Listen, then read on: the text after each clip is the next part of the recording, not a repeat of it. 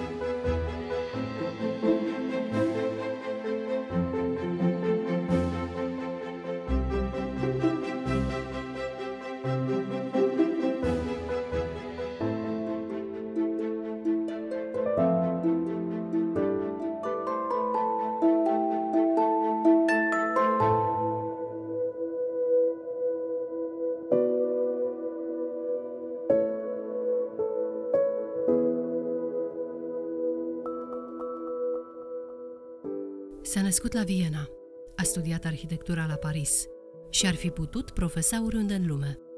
Dar a ales țara părinților, România. Nu a bănuit nicio clipă că peste timp va deveni prizonier acasă. George Matei Cantacuzino a fost unul dintre arhitecții de top din perioada interbelică.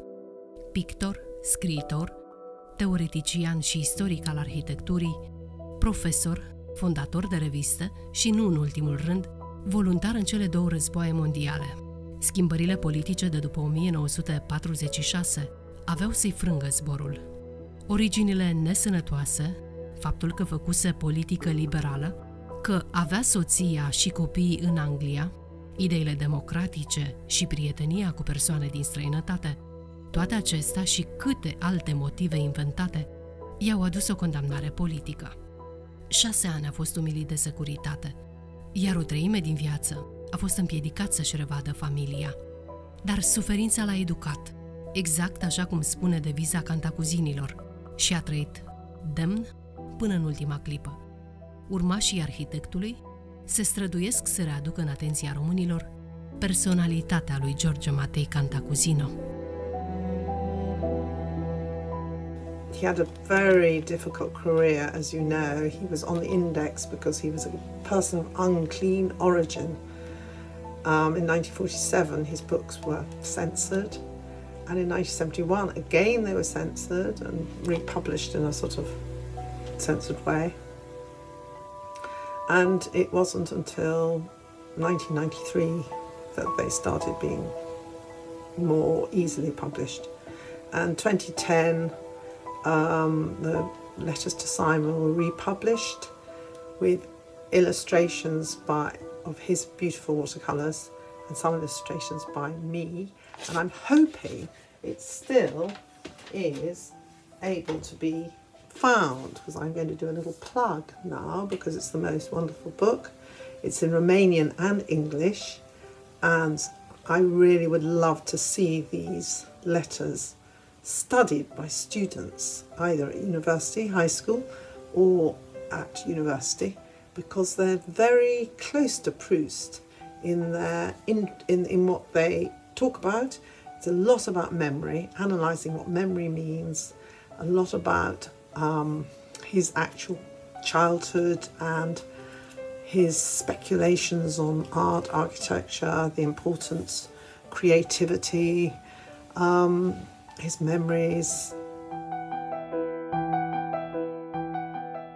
George Matei Cantacuzino s-a născut în mai 1899 la Viena, unde tatăl său, Nicolae, diplomat de carieră, era secretar al legației României. Mama sa, Marcela, era nepoata a domnitorului Gheorghe Bibescu. înrudit cu numeroase personalități politice și culturale, George Matei Cantacuzino se simțea puternic legat de moșia de la Hoisești, unde trăia bunicul său, revoluționarul pașoptist Bazil Cantacuzino. Se spunea despre el că este cel mai bine înrudit uh, uh, român pentru că prima sa, născută Bibescu, era uh, înrudit cu Marta Bibescu, Marta Bibescu fiind mătușa lui, era înrudit cu Barbu Știrbei pentru că soția lui Barbu Știrbei era de asemenea soră cu Marcela Cantacuzino, mama lui, iar uh, din partea tatălui, uh, uh, familia Cantacuzino nu mai are nevoie de nicio prezentare. Până la 10 ani deja locuit la Viena, a făcut lecții în particular, dar nu era ceva neobișnuit în epocă pentru clasa lui. Totuși, examenele trebuiau date la o școală. În familia mamei lui era firesc ca limba de comunicare să fie franceza, pentru că bunica lui uh, maternă era o franțuzoaică, o aristocrată uh, franceză care și-a urmat uh, dragostea în România. În anul 1909, Nicolae Cantacuzino și-a încheiat misiunea la Viena și a revenit cu familia în țară, iar în 1911 a fost numit ministru plenipotențiar la Berna, în Elveția. Fiului său i-a adus un dascăl din România. După cea din tâi lecție cu domnul Mârza, George Matei Cantacuzino a înțeles la numai 12 ani că viața înseamnă dușmănie și luptă. Domnul Mârza îmi explica cu o voce egală, fără tresăriri ori gesturi, că făceam parte dintr-o categorie detestată de popor și că trăiam de pe urma muncii altora fără niciun drept, că eram coborătorul unui neam străin care uzurpase cinstea de a se socoti român.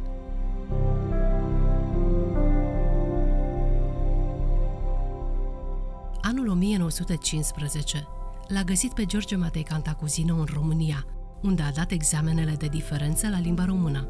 Tot atunci a ajuns în Moldova și a întemeiat la Iași revista Încercări împreună cu Gheorghe Ibrătianu.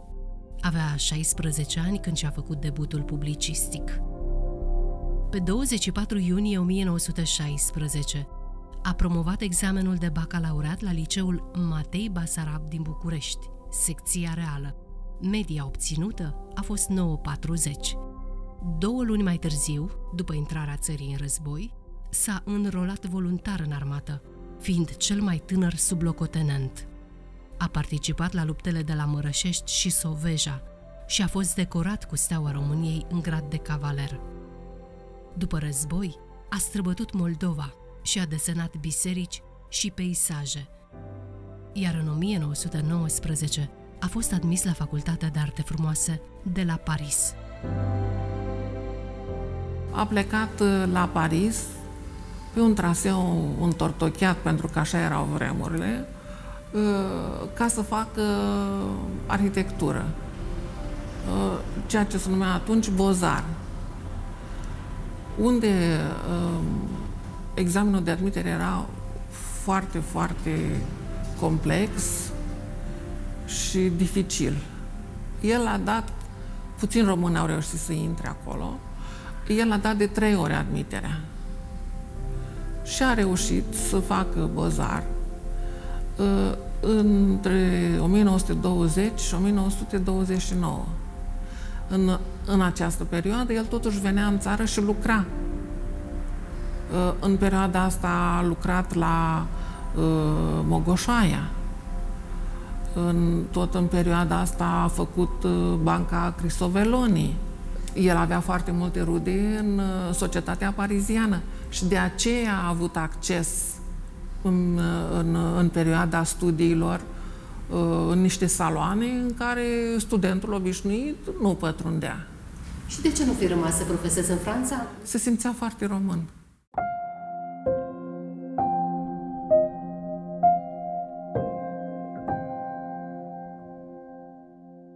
Student la Paris când și-a deschis un birou de arhitectură în București. A realizat spectaculosul proiect al băncii Crisoveloni și a refăcut vila principesei Elena a Greciei din Cala Victoriei 163. În paralel, a scris, iar în 1926 a publicat lucrarea Introducere la studiul arhitecturii. În același an s-a căsătorit.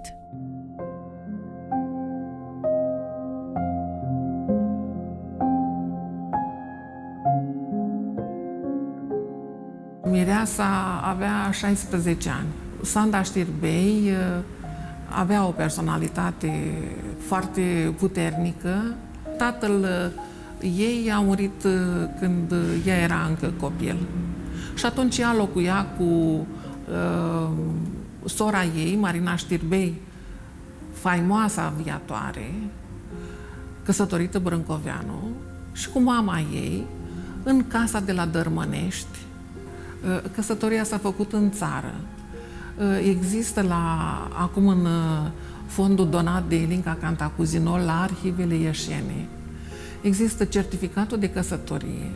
Căsătoria a fost făcută la uh, Băneasa și uh, uh, cununia religioasă făcută la Biserica Domnița Bălașa din București, oficiată de Patriarhul Miron Cristea.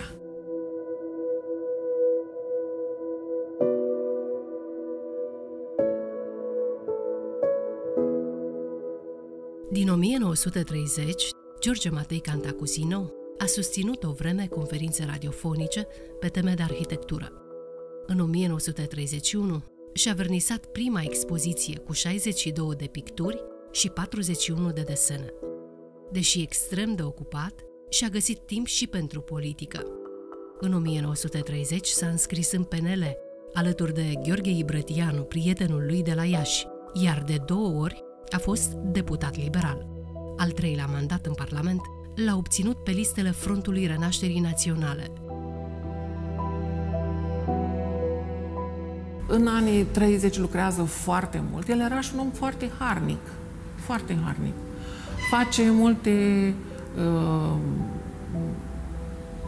lucruri importante, ca hotelul Rex, ca uh, hotelul Belona, dar face și multe vile, chiar pe malul mării, la Eforie, uh, pentru prieteni. În 1932, a lansat lucrarea Arcade, Firide și Lespezi. A publicat articole în reviste de arhitectură din Franța, iar în 1934 i-a apărut volumul Izvoare și popasuri, urmat în 1938 de Pătrar de Veghe. În același an a ajuns pentru prima dată în America, iar în 1939 a înființat împreună cu Octav Doicescu revista anuală Simetria, caietele de artă și critică au fost publicate vreme de 8 ani.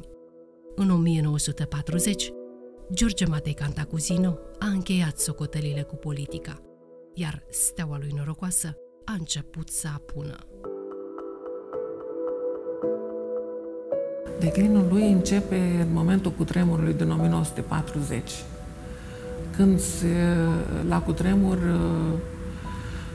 se dărâmă cartonul el este închis, era perioada Antonescu, uh, este închis uh, chiar la Văcărești, pentru care, Văcărești pentru care el avea o mare admirație. Și unde fusese de multe ori ca să studieze arhitectura acestui loc dispărut din păcate. Cutremurul din 1940 a fost devastator. În cazul uh, prăbușirii blocului Carton, sigur că um, responsabilitatea a fost întâi a proiectantului respectiv a arhitectului. Uh, Gene Cantacuzino a suferit enorm din cauza acestor acuzații. Sigur că după aceea s-a, s-a demonstrat că vina era uh, în întregimea constructorului, pentru că nu a respectat uh, proiectul până la urmă.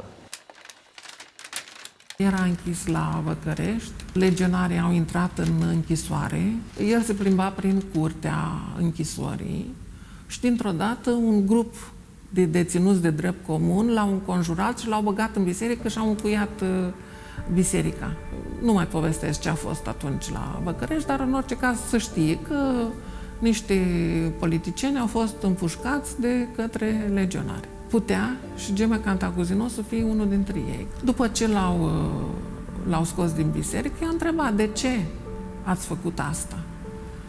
Și i-am spus, domnule arhitect, noi am lucrat pe șantierele dumneavoastră ca salahori și vă știm, dar uh, n-a stat decât o lună de zile acolo, uh, pentru că în jurnalul Martei Bibescu uh, este o, o notă în care spune că Revelionul 1941 l-au făcut la Mogoșaia cu GM Cantacuzino.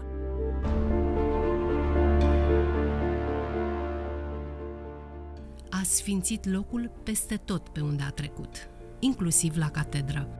Vreme de șase ani a predat cursuri de istoria și teoria arhitecturii. Pentru studenți, era un magician al cuvântului și al desenului. Al doilea război mondial l-a îndepărtat o vreme de îndeletnicirile sale.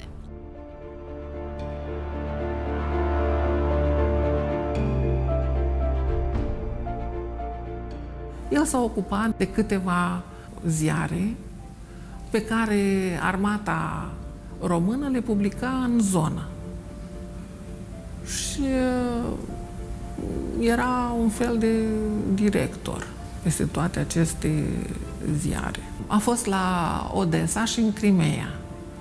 Uh, vreau să menționez că uh, domnul Șerban Cantacuzino, arhitectul Șerban Cantacuzino, fiul lui Geme Cantacuzino, împreună cu sora lui Mariliz, au donat uh, cu puțin timp înaintea morții domnului Șerban Cantacuzino un fond de 50 de desene și acoarele, picturi, Bibliotecii Naționale din București.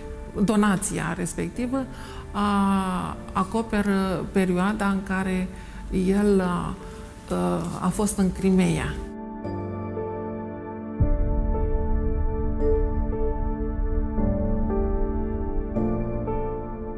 Înainte de izbucnirea războiului, George Matei Cantacuzino a luat o decizie care avea să-l despartă pentru totdeauna de familie.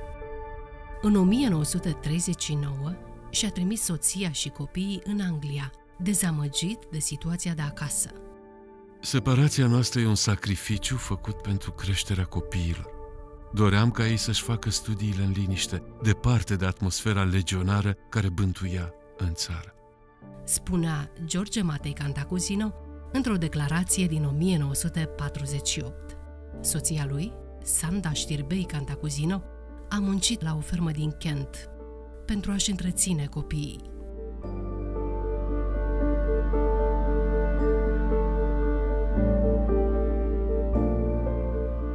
S-a dorit ca fiul Șerban Cantacuzino să se ducă la o școală engleză, ca fiind mai serioasă, mai uh, severă, să-l disciplineze, în fine. Și au plecat înainte de război în Anglia. S-au instalat și mama, firesc, a rămas cu băiatul acolo la studii. În 39 de Crăciun, Geme Cantacuzino se duce să-i viziteze, se întoarce în țară. Sanda Știrbei s-a mai întors odată în țară în 1940 ca să o ia și pe fica ei, Mariliz, în Anglia. Și ei s-au stabilit acolo, nu s-au mai văzut niciodată. I think it must have been taken in 1936 when he was an MP for Craiova in the area. So I framed it. At the same time, I have a photo of Sanda around the same time. Here, very different life, feeding her chickens. She's a poultry farmer in this very village. Here is a photo of myself when small with Sanda, my grandmother.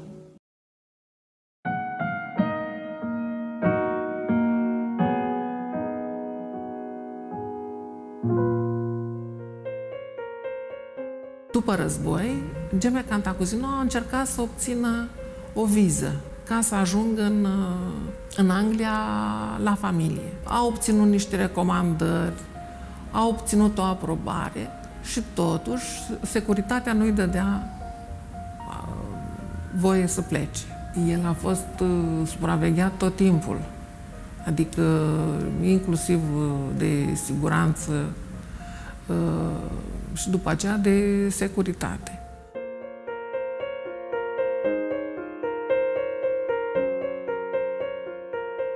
În 1941, Serviciul Special de Informații nota astfel. George Matei Cantacuzino este anturat numai de elemente cu idei democratice și de partizane ai Angliei, el însuși fiind un admirator al statelor occidentale. Ce a început siguranța antonesciană a desăvârșit securitatea. Regimul totalitar i-a distrus și viața personală și pe cea profesională. Sunt sute de documente probatorii în arhiva CNSAS. Arhitectul Vlad Mitric Ciupel a studiat și a elucidat motivul condamnării politice în volumul Geme Cantacuzino în dosarele securității.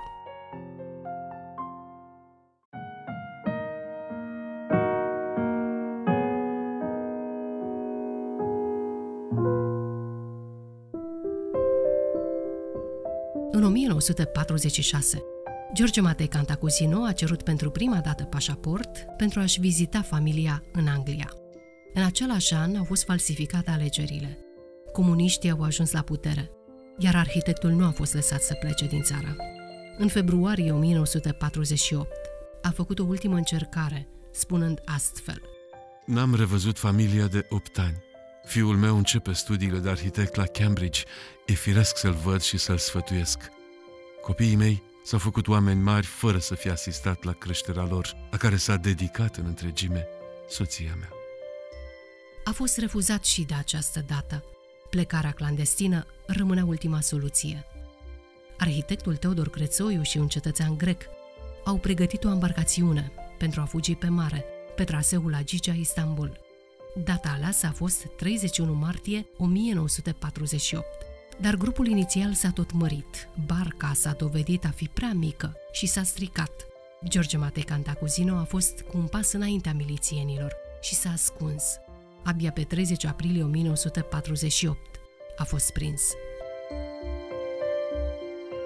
El ajunge cu trenul, cu ferindu-se, ajunge la Posada. La Posada fiind o casa Martei Bibescu. Deci o casă pe care o cunoștea.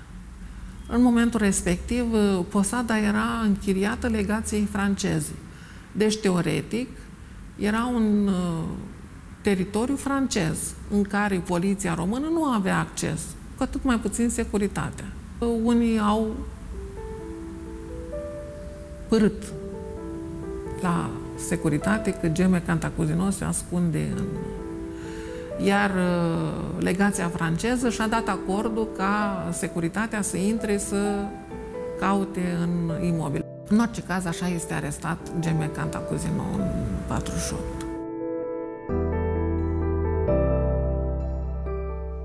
Lotul arestat pentru tentativa de trecere frauduloasă a frontierei și-a aflat sentința după trei luni de proces.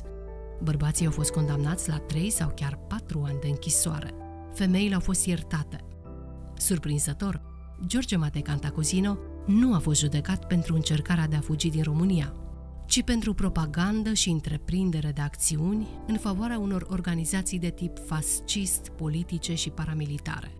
Concluzia apare în premieră în lucrarea arhitectului Vlad Mitric Ciupe. Concret, Cantacuzino a fost condamnat pentru că a intermediat întâlnirea majorului Ioan Tobă, membru al unei organizații subversive, cu un colonel din misiunea americană. Fapta s-a petrecut în 1945, iar George Matei Cantacuzino a fost judecat în baza unei legi din 1947 și a codului penal din 1948. Pe 16 decembrie 1948, Tribunalul Militar l-a condamnat la 5 ani de închisoare corecțională. Deși sentința a fost dată în baza unei legi care nu exista la momentul comiterii faptei, recursul condamnatului, a fost respins ca neîntemeiat. Asta la zarcă, la aiud, 9 luni. Asta, zarca asta era o, o, nici nu știu cum să-i spun, o încăpere în care nu puteai să stai nici întins, nici în picioare. Nu aveai lumină, nu aveai nimic. Deci era ceva înfiorător și 9 luni de zile trebuie să fii foarte echilibrat ca să ieși de acolo cu mințile întregi. Tot în pușcărie a avut un, un um, accident, uh, spărgea piatră și un vagonet din acela cu piatră a căzut peste piciorul stâng. A avut noroc, era cangrenă, dar a avut noroc că în același timp în uh, închisoare era și un uh, reputat chirurg și i-a salvat piciorul. Ghinionul lui a făcut ca, după ieșirea din închisoare, să aibă un accident în care același picior să fie afectat. Și atunci uh, lucra pentru monumentele istorice.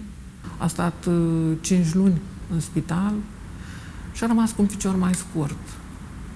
El care avea o ținută splendidă, era un bărbat frumos, impunător, a început să să se ferească de însoțitori atunci când mergea pe stradă, să jena, probabil.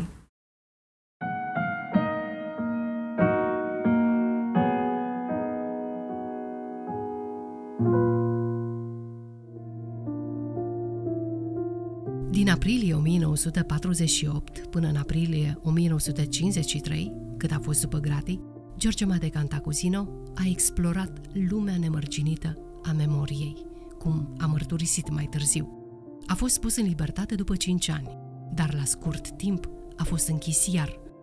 Făcea parte din familia foștilor prinți Cantacuzino, iar pentru securitate, eliberarea lui era nefavorabilă așa că a fost trimis un an într-o colonie de muncă. Abia în iunie 1954 a fost eliberat. A lucrat uh, la peninsula. A lucrat, uh, am înțeles că punea ceapă. Punea ceapă undeva în comuna Ovidiu, care este foarte aproape de Mamaia. Și tot la o deținut, uh, am găsit uh, mărturia lui care spunea că uh, se opreau și el se uita în zare unde se vedea hotelul Rex pe care îl făcuse. Deci diferența. Bineînțeles că oamenii sunt așa cum sunt, cei care erau gardieni simțeau nevoia să-l umilească, el nu riposta. Șase ani din viață a fost purtat prin penitenciare și la muncă. Aiud, Peninsula, Cernavodă, Pitești. Redus la tăcere, împiedicat să dea formă ideilor, rupt de lumea în care zilele aveau rost, contur și culoare. Experiența din spatele gratilor l-a marcat puternic. Tu nu știi cum ninge pe o închisoare. Varul zidurilor celulei albește atunci și mai mult. Și fețele și mâinile albesc, privirile și vocile se sting. Și nepăsarea atunci începe să-ți dea târcoale. Nepăsarea față de tot și, în primul rând, față de tine. Nepăsarea ne disloca încet, metodic, ca un ceasornic. Cuvintele se goleau de înțelesul lor ca niște clepsidre și noi de propria noastră ființă.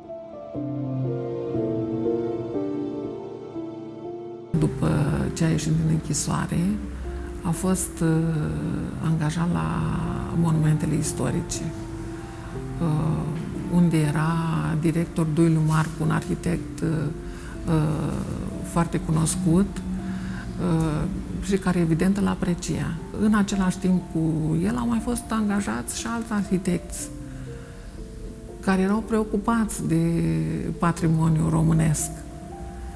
Întâmplător, toți erau foști pușcăriași și reprezentanți ai uh, aristocrației românești. Și la un moment dat uh, s-a făcut o ședință, șeful lor, uh, Bănescu, a fost uh, chemat și a fost întrebat, domnule, dar ce se întâmplă acolo la monumentele istorice? Ați chemat, ați angajat toți boierii din România? Și atunci el s-a întors și le-a spus celor doi balși și Geme Cantacuzino, trebuie să renunț la unul dintre voi.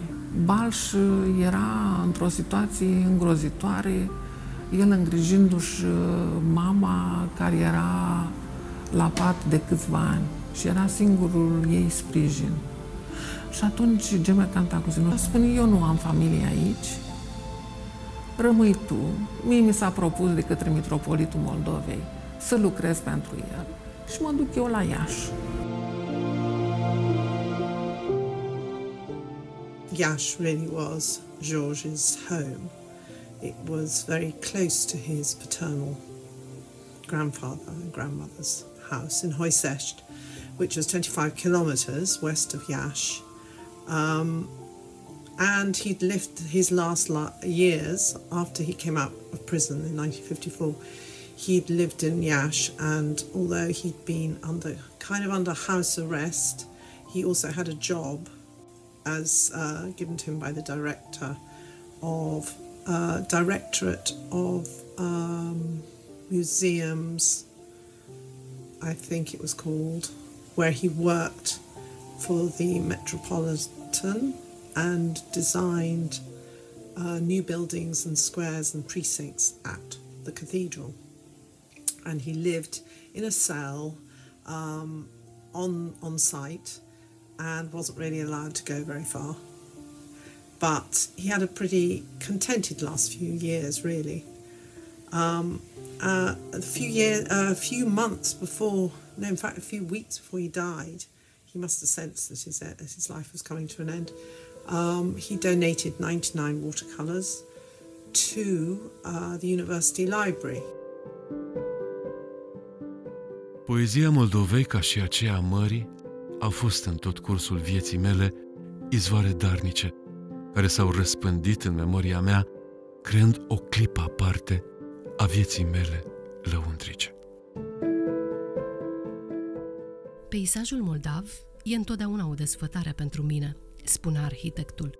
Iar în ultimii ani din viață, cât a stat la Iași, a pictat cu nesaț, încercând să prindă ceva din feria clipei fugare. Moșia de la Hoisește a ocupat un loc aparte. După venirea comuniștilor la putere, bunurile de la Hoisește au fost naționalizate. Conacul acela atât de luminos, prin ale cărui ferestre deschise se auzea foșnetul plopilor, nu-i mai aparținea. La umbra bisericii zidite de străbunii lui, mai avea pentru sine doar mormintele familiei – din 1957 și până la sfârșitul vieții, George Matei Cantacuzino a locuit la Mitropolia din Iași. Duminica mergea în capitală, la cumnata lui Marina Știrbei Brâncoveanu, unde era găzduit după ce i-a fost confiscată casa. În uh, Iași, în perioada uh, de, de exil voluntar oarecum, la uh, Mitropolie, la invitația metropolitului Justin Moisescu. El a fost găzduit uh, din 1957 în, uh, la Mitropolie. Uh, a creat două opere impresionante și acum, cele două palate metropolitane, pe care le avem mărturia talentului deosebit al lui, într-un stil renascentist paladian, influențat fără doar și poate de o calitate uh, extraordinară.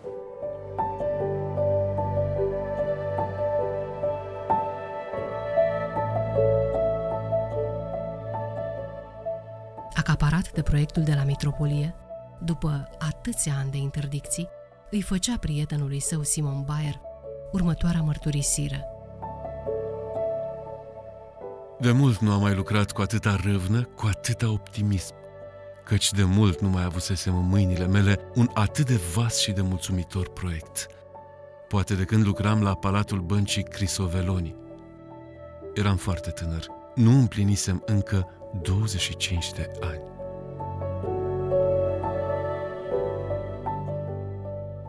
Răsăritul soarelui și sfințitul îl găseau în atelier.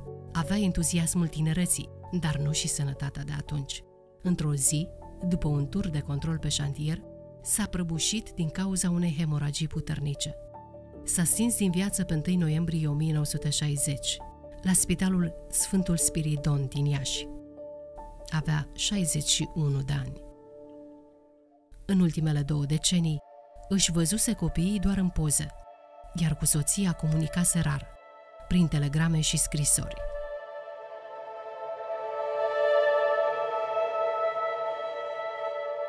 About um, my grandfather that I knew as a child from my grandmother that she would dream a lot about him because she, presumably because she never saw him in real life.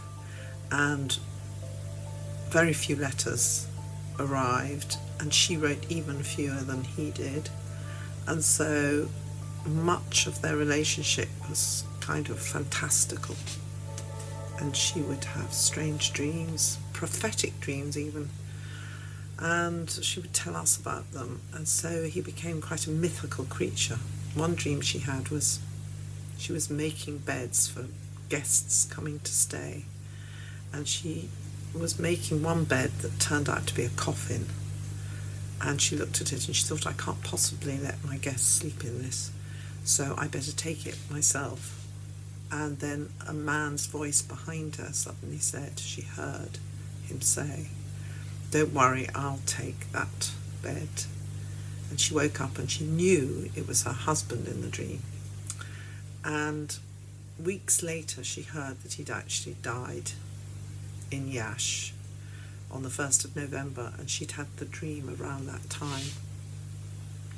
So I think in a strange way she was comforted by that connection that she felt.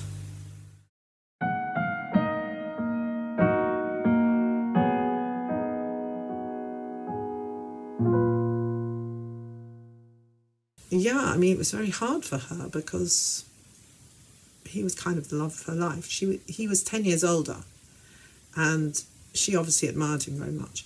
They went travelling. They had a lovely time before she came to England.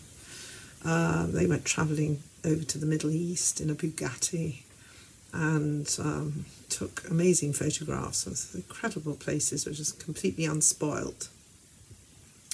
Um, and but I suppose she always thought that they would have more time together. It was sad, very sad. A fost o mare suferință și uh, o parte din corespondența cu familia a fost publicată. Uh, de Ion uh, Mihai Cantacuzino. El scrie, uh, roagă să trimită fotografii. Părăsise copiii în momentul în care erau foarte mici. Acum ei se maturizaseră. El nu mai era prezent la viața familiei. În momentul căsătoriei lui Șerban Cantacuzino cu An, care venea dintr-o veche familie aristocrată engleză, uh, el a cerut fotografii. El încă spera că o să se întâlnească cu familia. Bineînțeles că era o, o suferință continuă, de ambele părți.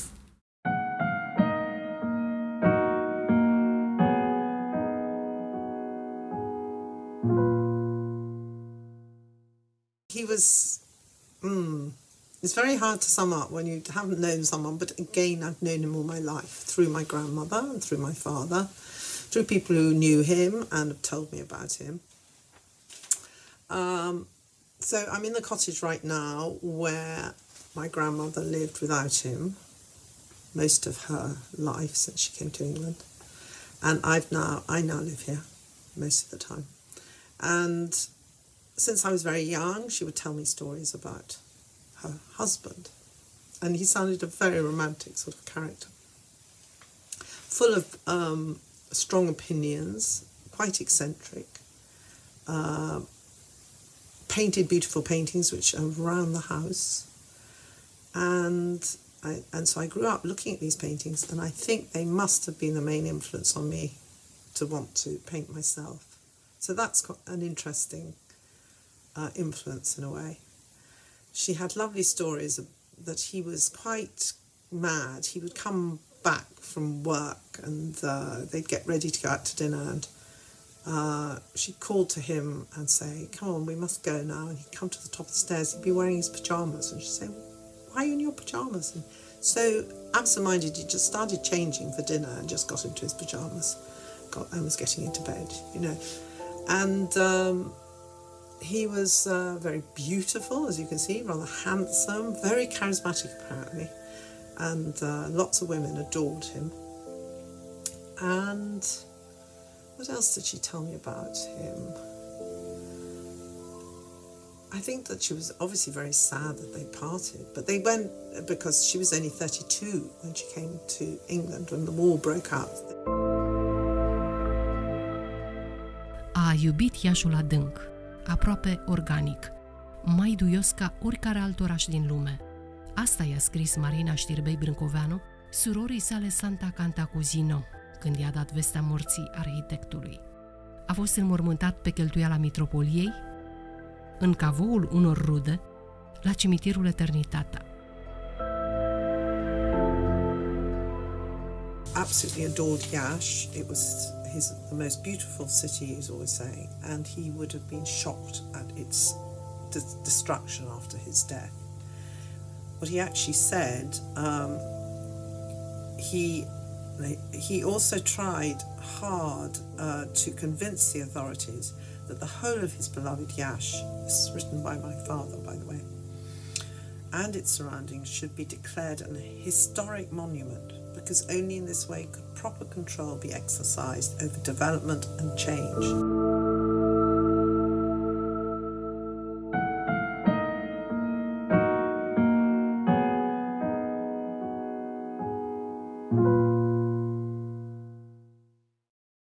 if you can see in his paintings, his most prolific number of paintings were after he'd come out of prison in 1954, between 54 and 1960 when he died. He was prolific, oil paintings, watercolours, just hundreds, uh, and a, a lot of Romanian on the Romanian landscape and Romanian buildings. He says, uh, What dominated all my feelings and even today lights up my memories was my enthusiasm for nature landscape, changing seasons, flowers, and especially trees. He saw the Romanian landscape as an earthly paradise. And he actually says at one point, the Moldavian landscape is for me always a delight. And it's so difficult and fascinating. Another beautiful thing he said was, the shadows of the trees were nowhere as blue as in Moldavia. And that the walls and turrets of Yash had a special harmony not found elsewhere. So I think he, he comments constantly and also paints constantly this landscape. And you can feel the love of it.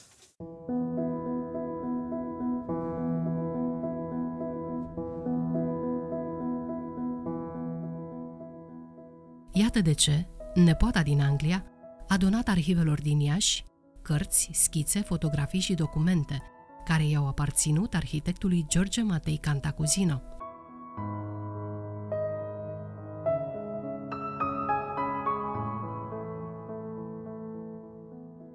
Povestea acestui fond, cum a ajuns el la Iași, este una extrem de, de interesantă. Grație domnului profesor Drișcu, am intrat în legătură cu uh, doamna Ilinca Cantacuzino, și din întâmplare, la o discuție a noastră la uh, Iași, a fost prezent aici și marele prieten al arhivelor, domnul Mihai Ghica, uh, descendentul direct al ultimului domnitor uh, pământean al Moldovei, Grigore Alexandru Ghica, care, cu generozitatea obișnuită, s-a oferit să găsească o soluție logistică pentru a prelua aceste cutii cu toate materialele, cu cărțile, cu documentele, cu desenele care au aparținut lui uh, George Matei Cantacuzino și uh, să le aducă din Anglia la București. E și o mândrie locală pentru că această arhivă nu va ascund, a fost și uh, foarte dorită și chiar aproape, se spunea, cuvenită celor de la București. Din, din fericire nu s-a întâmplat, nu s-a întâmplat așa. Am avut șansa ca o tânără colegă și foarte, foarte bună profesionistă și extrem de interesată de acest fond să îl preia, este vorba de colega noastră Emanuela Lungu, și să-l îl prelucreze și să-l pună în, în arhivele noastre. Prelucrarea acestui fond a durat aproximativ 5 luni. Mai întâi m-am ocupat de ordonarea documentelor și publicațiilor, ulterior de inventarierea acestora și tehnoredactarea inventarului. S-a ajuns într-un final la un număr de 452 de unități arhivistice, ce sunt păstrate în 63 de cutii. Cred că sunt niște documente de o, de o valoare intrinsecă și simbolică. Eu m-am făcut datoria de a participa la ele cumva și dintr-o continuitate de familie în 1939, Matila Ghica împreună cu Geme Cantacuzino, cu Octav Doicescu și cu Pol Emil Miclescu înființau cea mai bună revistă de arhitectură, revista Simetria, care continuă și astăzi. Uh, deci există o continuitate de, de legătură de familie. Mă bucur foarte mult uh, pentru Iași, mă bucur pentru arhive și pentru cercetătorii care cred că cercetând aceste uh, documente și această bibliotecă formidabilă, Uh, vor vedea și vor uh, ajunge să ne dea o imagine mai completă asupra ceea ce a fost uh, Geme Cantacuzino ca, ca persoană.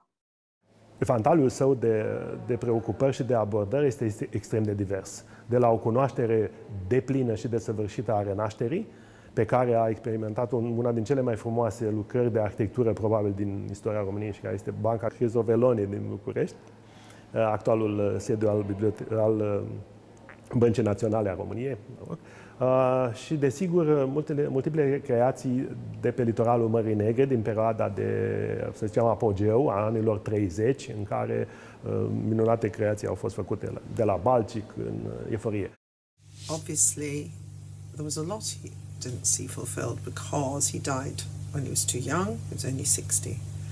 And he was working fast and furiously by the end, painting a lot, um, designing the buildings around the cathedral in Yash, right up to when he died, in fact.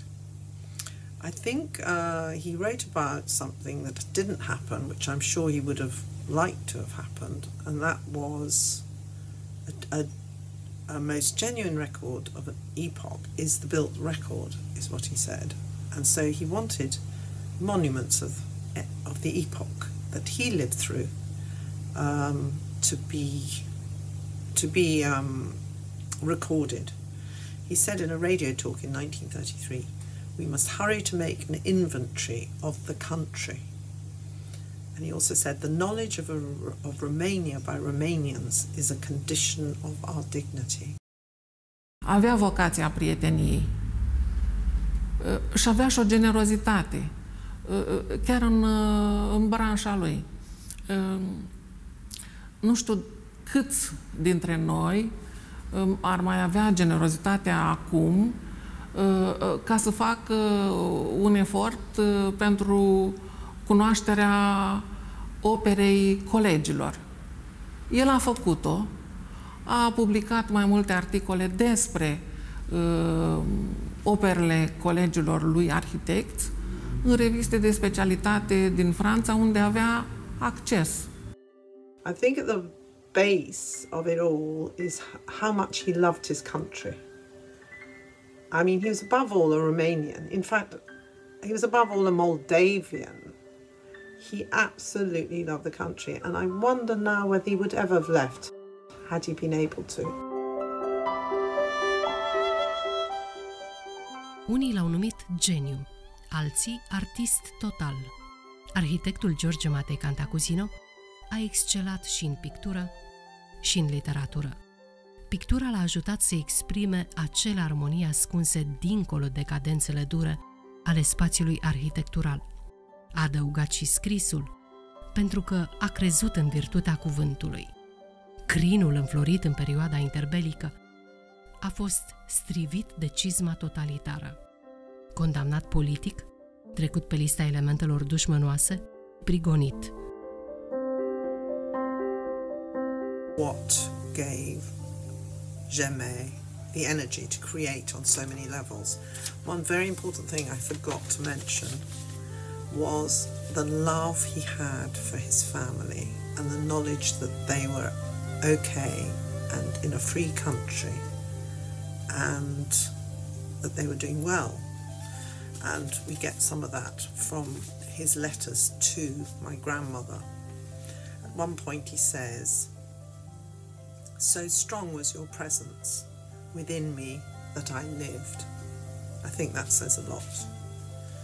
So, just the fact that he could carry her within him gave him strength, and to know that she was happy and doing well in this country. Another time he wrote to her and said, I've returned from my journey. During all that time, I dreamt constantly of you. I lived just to be back with you. All I'm told about our children delights me. It's so lovely.